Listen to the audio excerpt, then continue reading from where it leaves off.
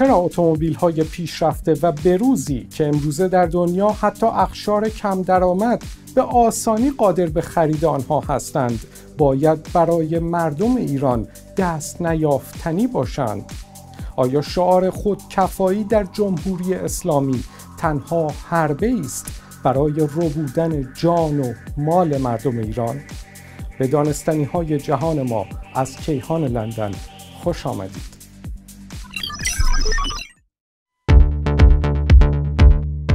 زمانی که در مرداد 1341 ایران ناسیونال تأسیس شد تا با همکاری بنز در آلمان اتوبوس و با همکاری هیلمن در انگلستان اتومبیل سواری پیکان را تولید کند این مدل ماشین ها همگی در زمان خود مدل های بروز و کارآمدی به حساب می آمدند. اگرچه پیش از آن در دهه 1330 سواری های مانند فیات و جیپ با تیراژ محدود در ایران تولید می شدند ولی تأسیس کارخانجات ایران ناسیونال، لیلاند موتور ایران و سایپا در اوایل دهه 1340 صنعت اتومبیل ایران را متحول کرد و ماشین هایی با تکنولوژی روز دنیا خیابان های ایران را پر کردند.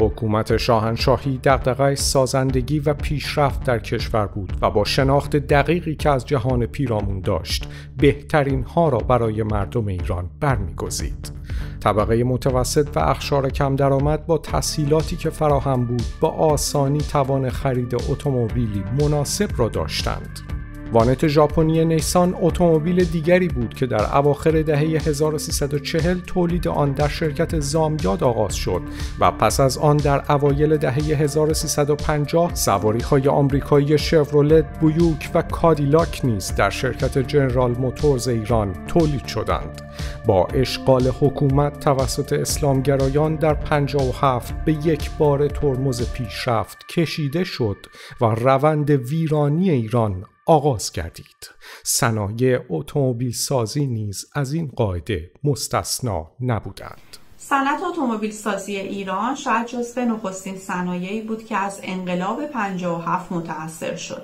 و به انزوا رفت به دلیل اینکه انقلابیونی سر کار آمده بودند که نگاه ضد بورژوازی ملی داشتن. انقلابیونی سر کار آمده بودند که هیچ درک و فهم درستی از مسیر و نقشه راه توسعه ایران که توسط دو پادشاه فقید پهلوی طراحی شده بود و در حال اجرا بود نداشتند انقلابیونی بودند که با شعارهای به اصطلاح ضد امپریالیستی می‌خواستن یک اقتصاد جدیدی رو ابداع بکنن و از درون اون یک اقتصاد اسلامی رو در بیارن و به دنیا معرفی بکنن.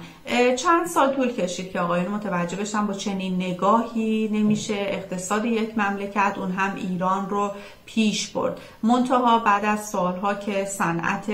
اتومبیل سازی ما به عنوان یکی از صنایع استراتژیک و مادرمون دچار انزوا بود باز از درون این صنعت پیشرو اتومبیل سازی می‌بینیم اتومبیل های عجیب الخلقه توسط جمهوری اسلامی تولید میشه مثل پراید مثل سمند مثل پژو 405 که این اتومبیل ها اصولا اتومبیل هایی هستن که یا طرحهای مردود شرکت های بزرگ اتومبیل سازی هستند یا هر قطعه و هر قسمت اونها چه در طراحی و چه در اجرا از یک جای کپی برداری شده و سرهم میشه و تولید میشه و به بازار عرضه میشه.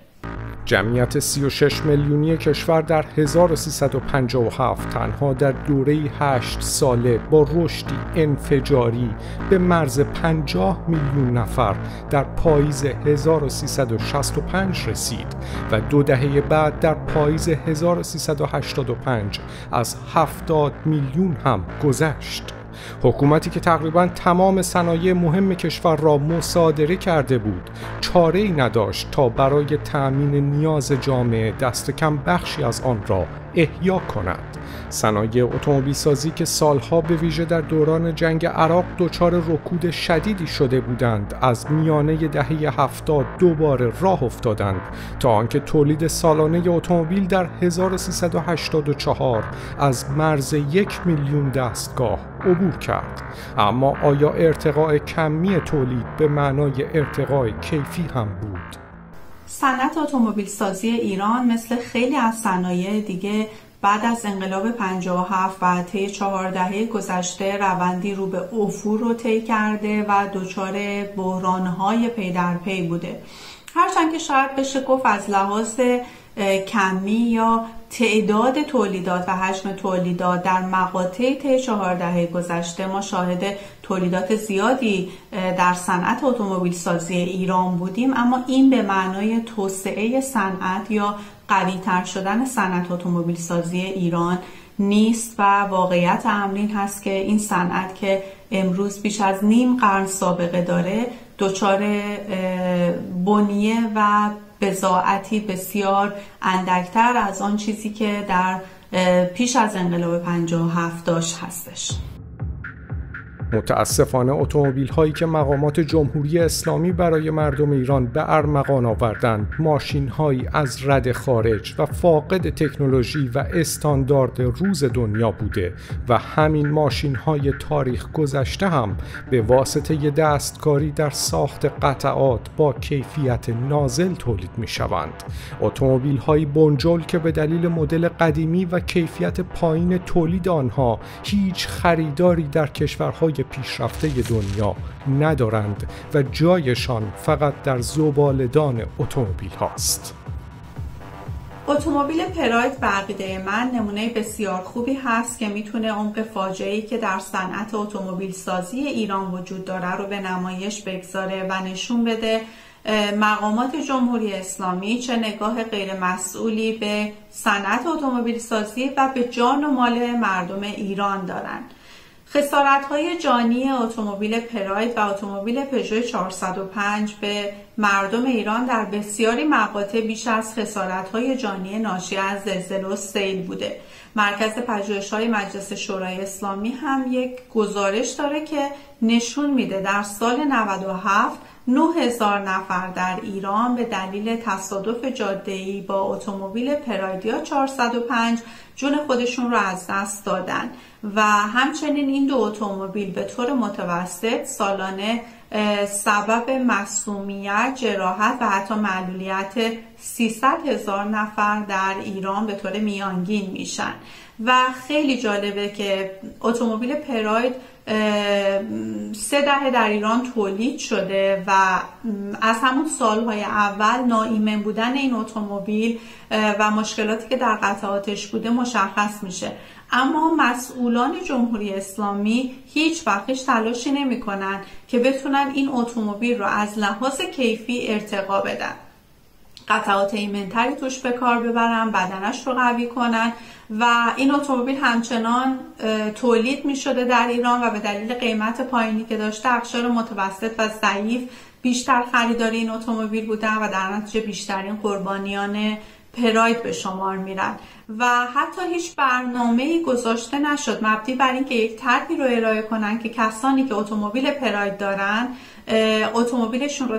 تحویل بدن و بعد با استفاده از وام بتونن اتومبیل دیگری رو تهیه بکنن و همچنان هم که خط تولید پراید تعطیل شده ما می‌بینیم این اتومبیل در ایران داره خرید و فروش میشه و همچنان میلیون ها نفر سوار بر این اتومبیل میشن و جانشون در خطر هست. در دنیای آزاد و مدرن امروز رقابت میان تولید کنندگان اتومبیل آنقدر تنگاتنگ است که شرکت ها هر سال مدل های تازه و پیشرفته تر را روانه بازار می کنند و به ناچار برای تصاحب سهم بیشتر از بازار محصولات خود را با تخفیف و تسهیلات آسان بلند مدت با کمترین نرخ بهره به مشتریان می فروشند. ولی در ایران به دلیل انحصار حکومت مذهبی بر صنایع ایران مردم کشوری ثروتمند وادار به خرید محصولاتی می شوند که نه تنها فاقد استاندارد و کیفیت لازم هستند بلکه برای خرید ماشین های تاریخ گذشته با قیمت غیر واقعی و گران در صف خرید هم باید بیستند.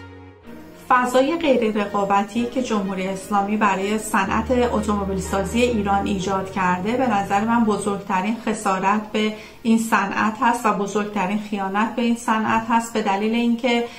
در فضای رقابتی هست که تولید کننده ها می‌تونن محصولات خودشون رو بهتر کنن تولیدات خودشون رو ارتقا ببخشن و در رقابت با دیگر تولید کننده ها بتونن سعی کنن سهم بیشتری از بازار داخلی یا جهانی داشته باشند در حالی که